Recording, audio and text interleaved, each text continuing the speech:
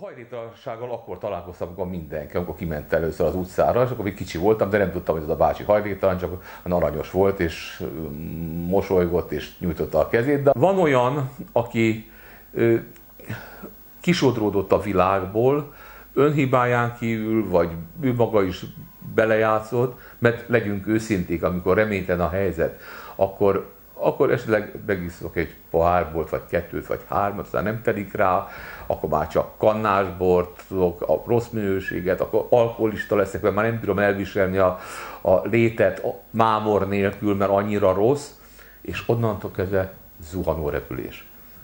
És félünk is tőlük, hát nyilvánvaló, hogy félünk, hiszen, hiszen neki muszáj, hogy az aznapra valót megteremtse.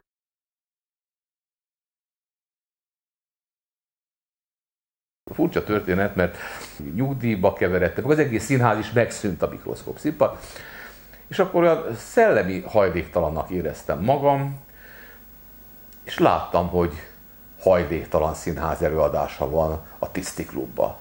Hát, mik vannak a világban? Elmentem és megnéztem. Az AHA színpad volt, és első szünetben én fölkeltem, hátramentem, és ismeretlen mondtam neki, hogy gyerekek, nem akartok csinálni egy kabarét? Csináljunk együtt egy kabarét.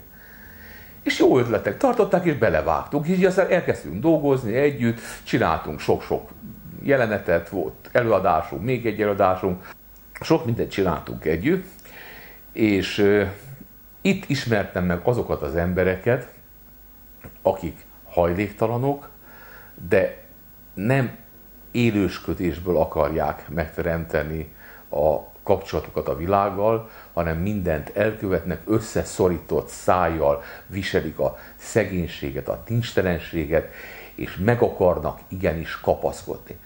És a legmagasabb rendű megkapaszkodás az a kultúra, az a szellemi közösség, ami minket embereket összekapcsol. Így ismertem meg őket, és csodálatosan izgalmas, szép dolgokat éltem át velük, ö, nagyszerű társaság.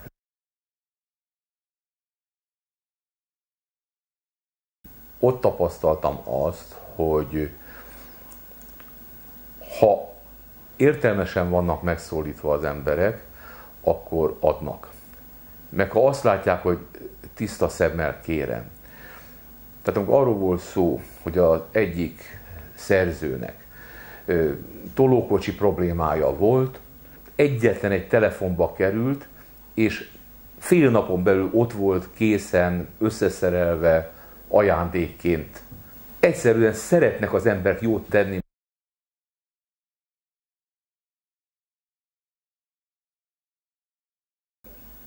Az opera, ami igen magas rendű művészet, azért legyünk tárgyilagosak, rólunk szól hajléktalanokról. Úgyhogy mindenképpen lesz haszna mindenképpen lesz haszna. Valami, ami a kollektív emberi tudatalomba belekerül, hogy egyszer már volt egy ilyen. És az nagyon nagy dolog.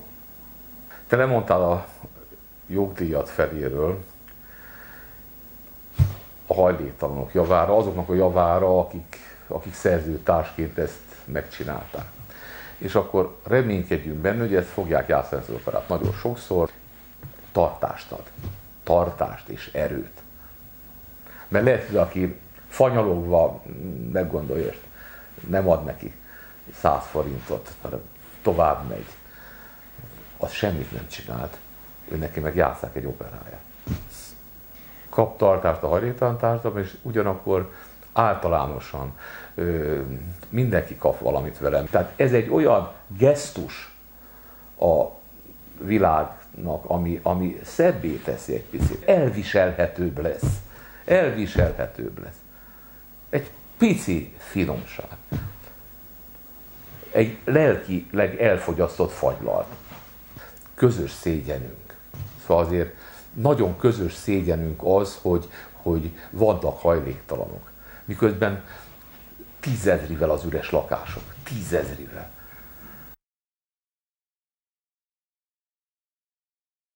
Én azt szeretném, hogyha azok az emberek, akik eljönnek ezt megnézni, nem azért jönnek el megnézni, mert akkor a aznapra rendelt Szent Evangélium jóságát letudják, hanem azért menjenek el, mert baromi jól fogják magukat érezni.